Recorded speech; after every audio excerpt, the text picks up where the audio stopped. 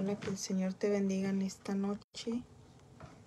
Quiero comenzar a leer el capítulo número 2 sin interrupciones, ya que mis niños están descansando.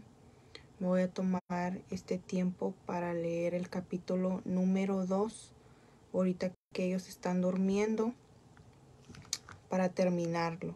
Así que voy a comenzar y pongamos atención en lo que este libro nos habla. Muchas veces hay personas que no les gusta leer. A mí me gusta leer, así que uh, aprovechemos para escuchar el libro. Um, muchas veces yo he regalado libros y le digo, ¿lo leíste? Me dicen no, porque pues no, no me gusta leer o así. Entonces que pues... Um, más que yo les esté leyendo el libro. Me estoy tomando de mi tiempo para leerles el libro. Seguimos en este libro, Sin Santidad, Nadie le verá, de Gigi Ávila. Amén. Este libro lo busqué en inglés, no lo encontré en inglés. Tengo una amiga aquí en Facebook que le interesa el libro, pero en inglés mmm, no, no, no lo he encontrado. Así que Voy a ver si puedo entender un poco. Capítulo número 2. Santidad interior.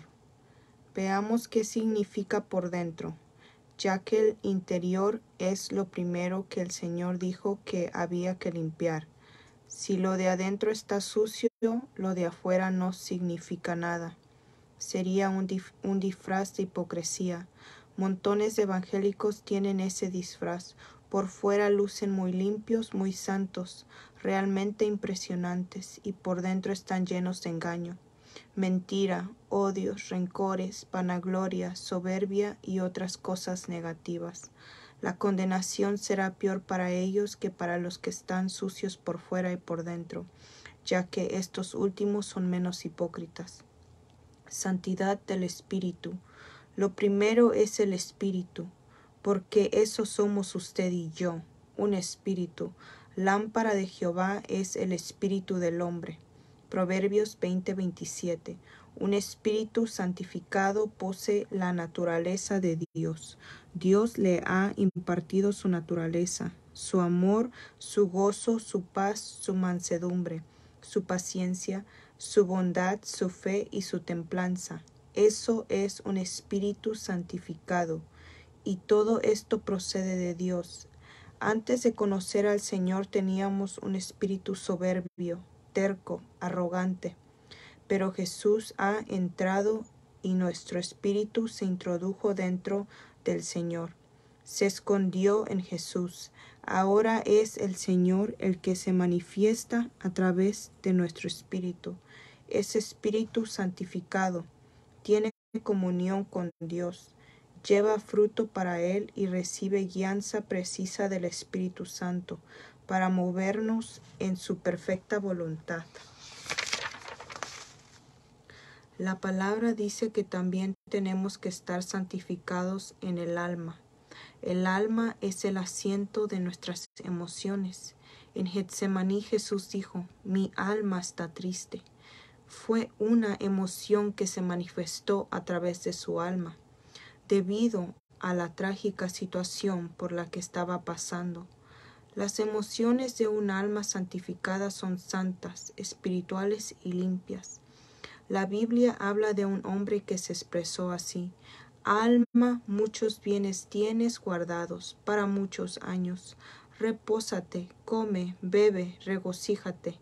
Lucas 12:19. Así se expresa un alma inconversa pero David, siervo de Dios, rey y profeta de Israel, dijo, Mi alma tiene sed de Dios, del Dios vivo. Si su alma está limpia y llena del Espíritu Santo, usted es santo y sus emociones son espirituales. Usted anhelará danzar en el Espíritu, cantar coritos, gozarse en el Señor, leer la palabra de Dios y ver sus milagros y señales. Sus anhelos y sus emociones son espirituales. Se emociona y se ríe en el espíritu. llora cuando ve las almas perdidas y se goza cuando éstas se convierten a Cristo. Con el pecador no sucede así. Este salta y grita cuando ve que el jugador conecta un cuadrangular, sus emociones son carnales. Se goza cuando lo invitan a un banquete para llenar su estómago. Ríe y llora viendo películas, novelas y programas mundanos. Disfruta la música mundana y siente placer participando de las actividades de los pecadores. Con el creyente no sucede lo mismo. Este ha sido limpiado y santificado por dentro. Su alma está llena del amor de Dios, de mansedumbre, de humildad y de otros frutos del Espíritu. Jesús dijo, De cierto, de cierto te digo, que el que no naciere de nuevo no puede ver el reino de Dios. Juan 3:3. Está hablando de un nacimiento interno que viene de arriba, de Dios, en el cual Dios entra y toma dominio de nosotros. Él vive en nosotros y nos llena de su santidad. Entonces usted es santo, porque ya no vive usted.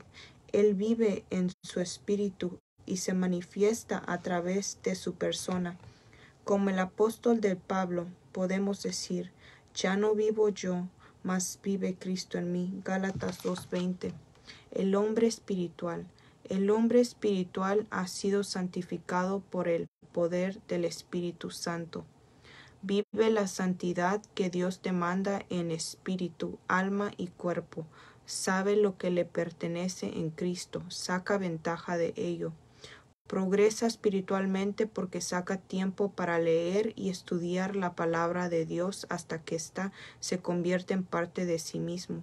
Mantiene una íntima relación con el Padre llegando a conocer profundamente a través de las enseñanzas y el ministerio de Cristo. Conoce a Jesús como Salvador y Señor, pero le reconoce también como su sumo sacerdote e intercesor. Está consciente de la autoridad que posee como creyente en el Señor Jesús, quien está sentado a la diestra del Padre. El hombre santificado en su interior conoce al Espíritu Santo como consolador, consejero, ayudador, intercesor y maestro.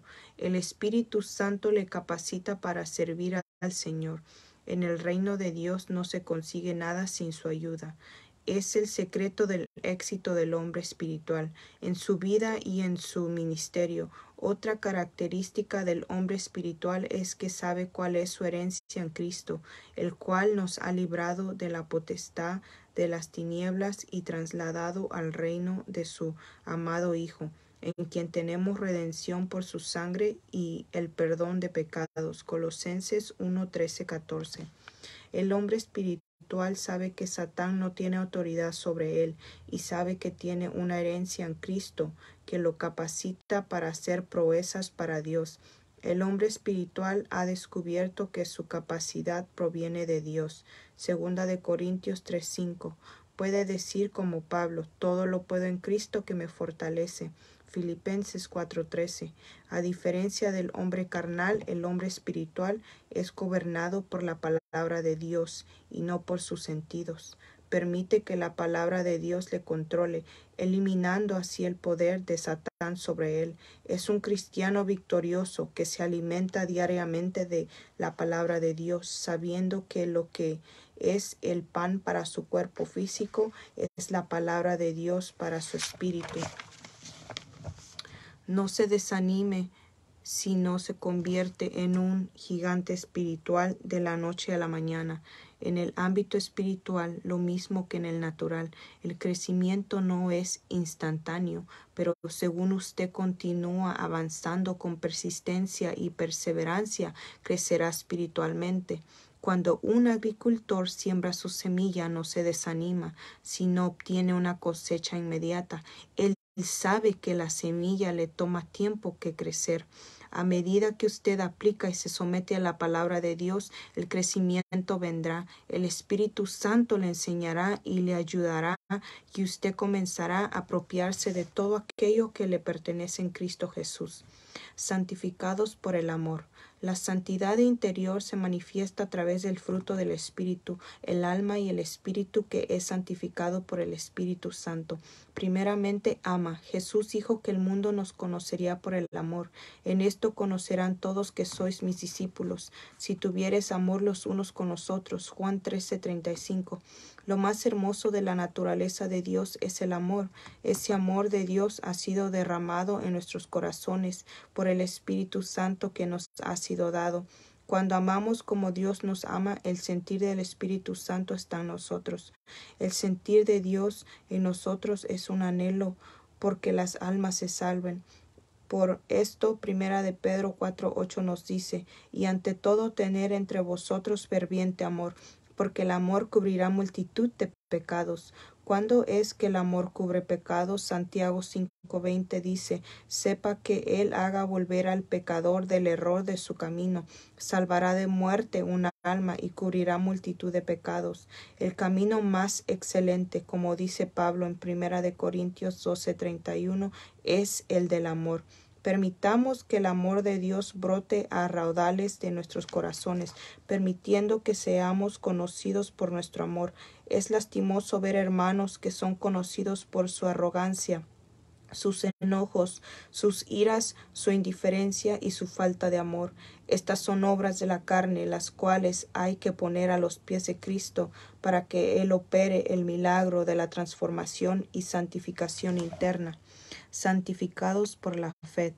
Para ser participante de la naturaleza divina es necesario creer que Él es el autor de la fe y de toda buena dádiva. En Romanos 1.17 dice, porque en el Evangelio la justicia de Dios se revela por fe y para fe, como está escrito, mas el justo por la fe vivirá. Y Hebreos 11.6 añade, pero sin fe es imposible agradar a Dios, todo lo que de nosotros agrada a Dios santifica nuestras vidas. Para que nuestra fe esté bien fundamentada, tenemos que conocer bien al autor y consumador de nuestra fe, a Cristo. El, conocer a Cristo hará que querramos ser como Él. Fe es unión con Cristo y esta unión envuelve y garantiza una semejanza con Cristo cada vez mayor. Los discípulos reconocieron la importancia de crecer en la fe, por lo que le dijeron a Jesús, aumentanos la fe. Lucas 17:5. Cuando el cristiano toma de la santidad la fe, el amor, la paciencia y la gracia de Jesús para aplicarla a cada situación que se le presenta, está viviendo en la santidad de Cristo. Por la fe nos apropiamos de sus atributos, santificados por la palabra. Cuando Jesús oró por sus discípulos, dijo, Santifícalos en tu verdad, tu palabra es la verdad. Juan 17, 17. De esta escritura aprendemos primeramente que Dios es el que santifica. Cuando aceptamos a Cristo como nuestro Salvador, nacemos de nuevo, nacemos del Espíritu. Al nacer del Espíritu, nuestras motivaciones, aficiones y prioridades cambian. Se despierta en nosotros un interés por las cosas espirituales, por las cosas que a vida eterna permanecen. Este nuevo nacimiento nos separa del pecado y nos prepara para servir a Dios. Todo esto es obra de Dios. Él es el que santifica. En segundo lugar, aprendemos que Dios nos santifica por medio de su palabra. Su verdad está contenida en su palabra. En segunda de Timoteo 3, 16, 17 dice, Toda escritura es inspirada por Dios y útil para enseñar, para redarguir, para corregir, para instruir en justicia, a fin de que el hombre de Dios sea perfecto, enteramente preparado para toda buena obra. Cuando permitimos que su palabra nos instruya, nos redarguya, nos corrija y nos enseña a ser justos, vamos por el camino de la santificación que nos conduce a la perfección. Hebreos 4:12 dice, la palabra de Dios es viva y eficaz y más cortante que toda espada de dos filos y penetra hasta partir el alma y el espíritu, las coyunturas y los tuétanos y discierne los pensamientos y las intenciones del corazón Esto es santificación a través de la palabra.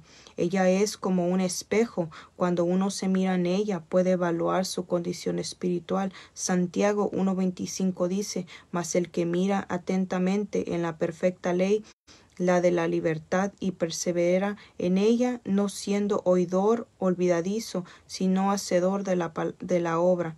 Este será bienaventurado en lo que hace. En segunda de Corintios 3:18 hay una hermosa descripción de la santificación de todo nuestro ser.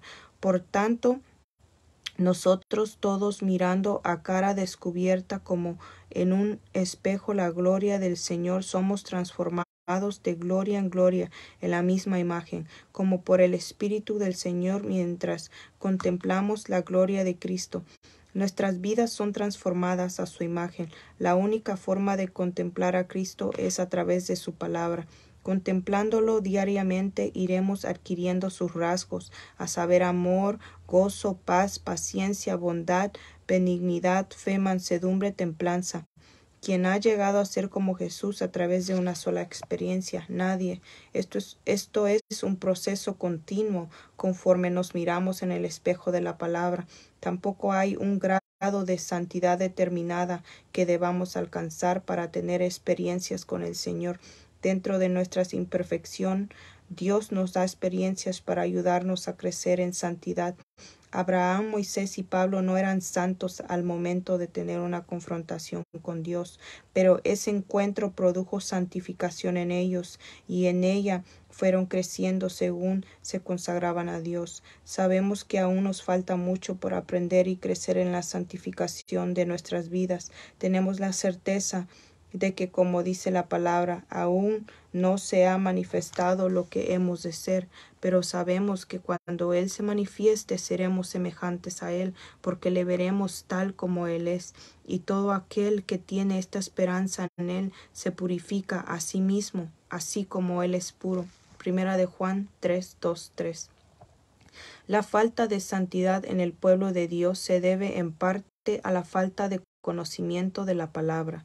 Ella es el instrumento que Dios usa para santificarnos, pero lamentablemente no se le está dando la atención que merece. La palabra es eficaz y hace aquello para lo cual es enviada. Redarguye, revela el pecado, despierta conciencia, revela el carácter de Cristo a quien debemos imitar y crea convicción en los corazones.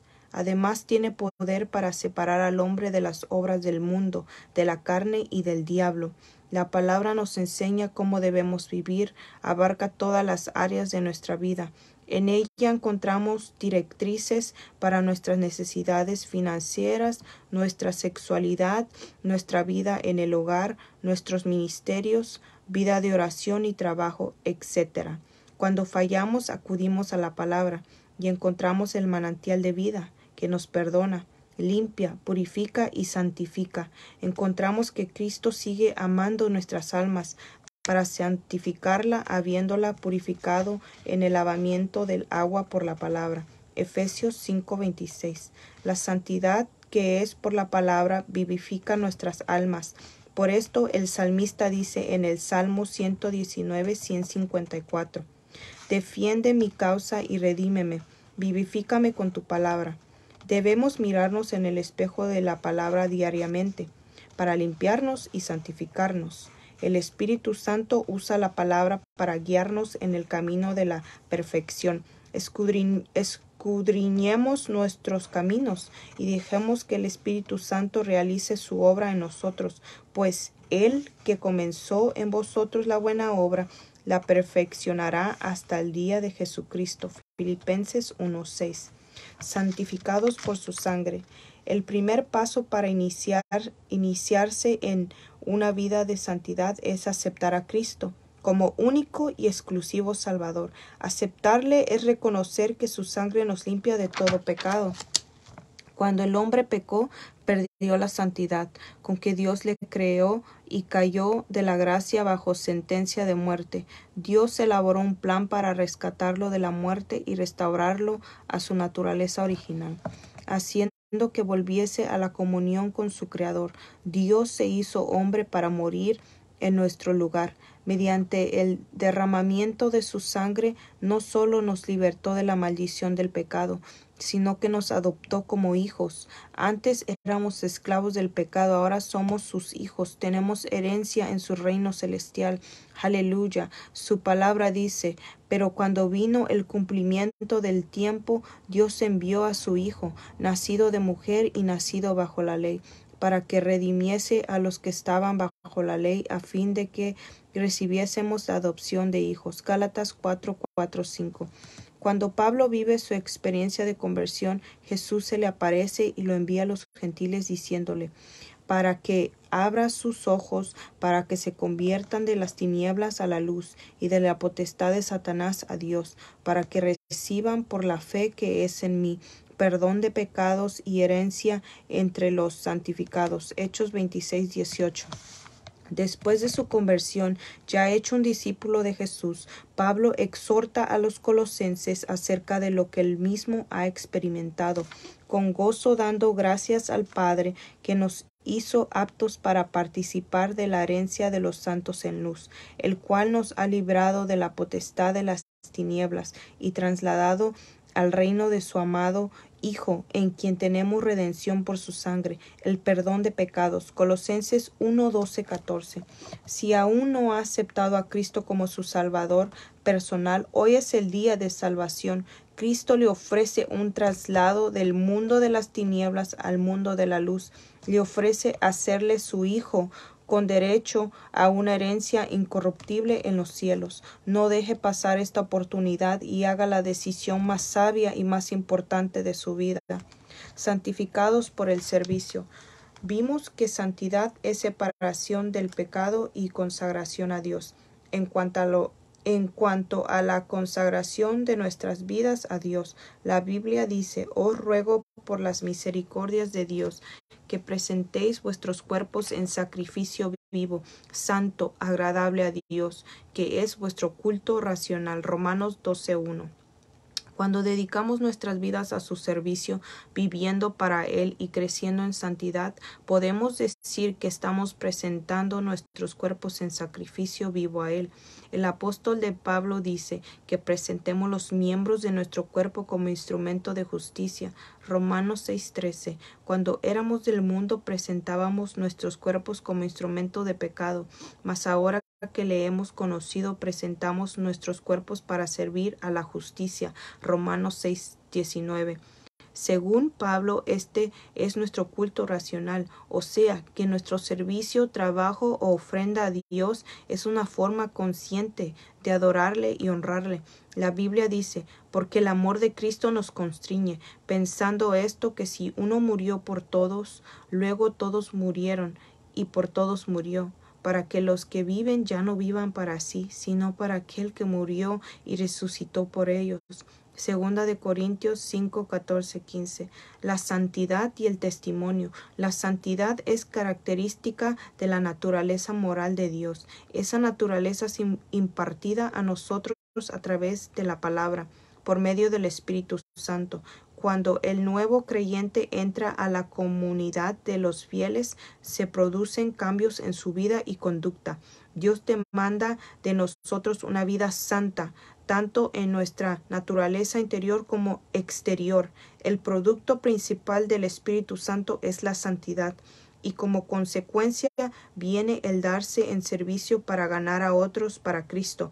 Cuando esa naturaleza divina se manifiesta a nosotros, aún los no creyentes reconocen que somos de Jesús, porque nuestro testimonio es limpio delante de Dios y de los hombres. Nuestra conducta hablará más fuerte que nuestras palabras, ya que viviremos lo que predicamos. Los que no han sido lavados en la sangre de Cristo participan de la naturaleza del diablo. Estos son del mundo y sus pasiones, deseos y apetitos están controlados por el maligno. Esa naturaleza mundana se manifiesta en glotonería, borrachera, ira, malicia, venganza, avaricia, celos, orgullos, pasiones desordenadas, amor exagerado por el dinero, por el poder, por la fama y otros, santidad y obediencia. En primera de Pedro 1.2 habla de la santidad por el Espíritu para obedecer. El Espíritu Santo es tan gentil que no nos obliga a hacer su voluntad, sino que usa su gentileza para enamorarnos, educarnos y advertirnos. Filipenses 2.13 dice que Dios es el que en nosotros produce tanto el querer como el hacer por su buena voluntad. El hombre espiritual siente satisfacción en obedecer a Dios. Por el contrario, la desobediencia produce frustración, inseguridad y sentido de culpa. La desobediencia es rebelión y el crecimiento de la santidad se detiene cuando ella domina. Cuando nos sometemos a la voluntad de Dios, sentimos gozo y paz en nuestros corazones, de modo que o nos sometemos o nos sometemos a Él o viviremos una vida sin Él. Sin él. Disfrute de su gracia, su presencia y su santidad. Ese fue el final del capítulo 2. Así que Dios les bendiga. Hasta luego.